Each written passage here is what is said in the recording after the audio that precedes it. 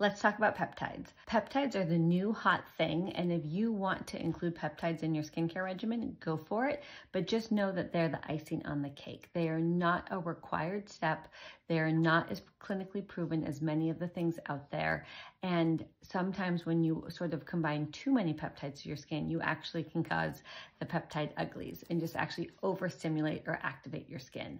So peptides are just tiny little molecules that promote or signal your body to do something. Our body makes them.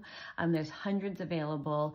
And right now it is the hot thing that is selling products is putting the title peptide in that product. You don't need peptides in your face wash. Just gonna throw that out there. Peptides can be helpful if you have a specific goal that that peptide has been proven to help with. And one of the most sort of best studied ones is argireline, which has been shown to make our skin look smoother. So if you want to make your skin look smoother and you're already doing your vitamin C and you're already doing your sunscreen and you're already doing your night turnover product, sure, add argireline in. There's a number of different products out there that has that, including P-Tiox by SkinCeuticals, and it's fun and it will make your skin look smoother temporarily, but as soon as you stop using the peptide, that change will go away.